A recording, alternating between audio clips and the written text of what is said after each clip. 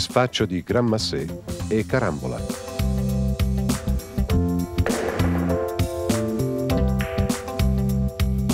Thank you.